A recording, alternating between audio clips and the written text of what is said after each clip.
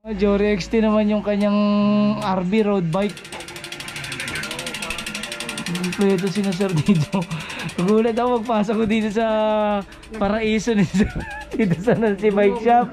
Ang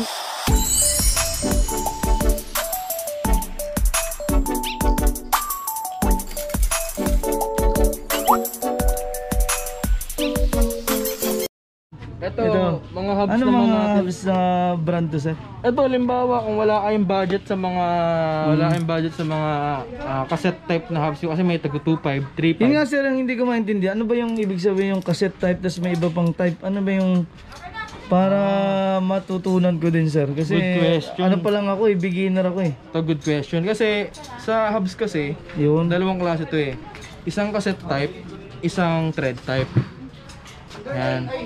Ang thread type kasi na hubs natin, ang pwedeng ipasok dito mga ganito lang.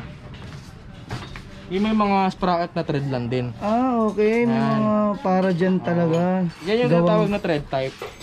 Tapos, itong cassette type naman siya, kinagandahan nito kasi mas advanced na to. Kumbaga, disalpak na siya yung sprocket niya. Ang ilalagay naman natin dito, mga gantong sprocket na. Submit, 9 speed to 10 speed pwede. Oh, pero merong gawang submit na may thread din. Wala ba? Wala sir. Wala na. Oo, kasi ang ratio nito 1146 ah masyadong malaki kaysa sa mga thread type kasi yung thread type maliliit lang talaga eh.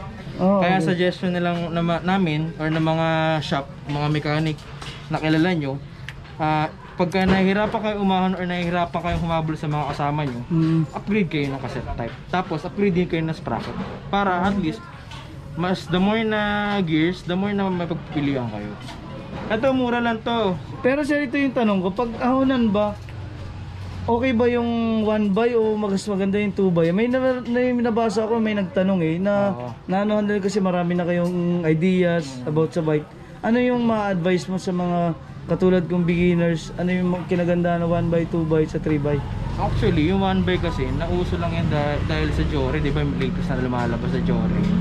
Yung one by kasi na yun, mabilis siya sa unahanan, sa ahunan, mabilis din siya sa sa lapatag. Kasi nga, yung ratio combination ng sprocket niya sa likod, ah tamang-tama para sa ratio ng front, front na front na crank niyan, 36 feet lang. So kahit alimbawa, kahit ahunan, hindi ka hirap. Tapos pagka nasa patag ka naman, yung pinakamalit na para alam ko 11 or 10 or 9. So ang bilis pa rin kaya wala kang problema. Tapos 36 feet lang yung ratio mo sa harap, yung drivetrain mo. Oo. Kaya talagang mabilis ka. At kung sa ahunan naman, pag usapan pa ahunan, mas magaan din. Mas magaan siya, hindi siya mahirap. ah, hindi siya mahirap iangat or iahon. Kahit Oh, kaya pa. pala yun yung mga ano, pag may mga beginners, yung pag nakapanood nito, talagang matututunan nila, nila. yung pala yung ano na, yung ratio, yung drivetrain na Kinaganda- natawag nila. Kasi meron mga 3 3 by na na crank tapos yung sa drive yung cogs nila ay 7 speed lang. Bidit, bitin pa, Mm. tapos pagka umangat, sakto lang, pero pagka nasa mataas na yung gra- ingredient, ingredient, ingredient pala, nung dadaanan mo or nung bundok, nahihirapan pa rin kasi nga, yung drivetrain na pang 3 by tapos 7 speed lang sa likod, ang nangyayari nun, pang road lang talaga. Mga pambiyahe-biyahe lang dito, ganyan. Pero kaya talaga mas maganda upgraded kayo. Yan. Ayun, kaya guys, ang dami nating natutunan. So sa mga katulad ko pong beginner na wiwili mag-bike, napakasarap matuto. Masarap. So, So grabe yung mga parts na, yung pala yung mga kinaibahan ng mga cassette type tsaka mga thread. Thread type. Nang, ang tawag din sir sa ganyan? Crank? ah, hubs. Hubs pala yan. Ay, tulog ko yan. Anong ano to sir? Yan. Okay, chess, uh, pulsos. Ah, may pulsos din kayo dito sir? Anong premium po? Okay, chess. KSS? Ito naman dahon na na folding bike. Folding bike na dahon. Yung mga dahon na yan sir, ano ba yan? Di, sa Gawa USD ng dahon. Gawa US? Ano pangalan ito? KHS sir? KHS, yung nakalagay. Full sauce. Pulsos. Tiba yung kompleto si sir. Mga Shimano yung kanyang... Talagang pang, pang Ah, ito yung... Bakit ito nakadikit siya? Anong tawag sa ganyan? Ano, clits. Ah, Clits matatanda. ayun o, nakalagay na siya dun oh. Clits. Kompleto si sir dito ng mga ano niya. Yung Ang ganda ng ano, Shimano pa. clits, oh. Ay dito ako na ano eh, tunog mayaman eh. Oh, ito yung lagi ko nakikita sa mga comment oh. Oh, grabe. Anong gamit niyo sir na ano dito? XT. XT na ano? Oh, XT to. Crank? Component. Oh, XT nakalagay XT. Jory XT yan. Oh, Jory XT naman yung kanyang RB road bike. Pwede si na sir dito. Nagulat ako magpasok ko dito sa paraiso ni sir. Dito sa si bike shop. Ang paraiso ng bike dito. Ito po, Marine. Marine. Oo. Ah, Marine, Marine. Oh, ang component ng rin. Dati. Ah, mga sir ang buo. Tapos ito, Ep Epicon. Yung Versus. dating Epicon, Ito yung mga dati pang ano sir ano? S. Oh, yun. Mga sa Ah, air. Ito, ano to siya, dati yan dito eh. Tinanggal Ano- ko lipat. ano air, naman- air din siya. Anong Ah, brand niya, sir? Ah, 2.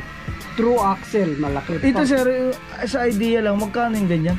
Mga ano sa ah, 20 plus, 30 ganun. Pero ngayon, kasi, ko lang ngayon kasi- 2. Depende rin sa, sa, sa, ano din, sa product nila na ano. oo. Kasi ito true axle, ito laki. oh.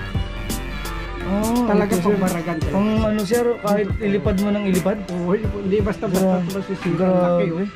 True axle ang tawag to. Ah, true axle mo. True axle. Panalo. Ito sir, isa. Eh, ito sa ano siya. So- pwede din yan, mga sinaunang bike din yan, pero ginagamit ko rin sa ano yan. Ginagamit Oh. ko rin sa lakad-lakad lang, pang gano'n. Oo. Ano namang frame yan sir? Yung frame yan, ano yan, S- Swim? swing. Na sinaunang swing. Ah, puro Epicon talaga. Talagang subok din ito sir sa ano. Kahit saan, sa mga trail.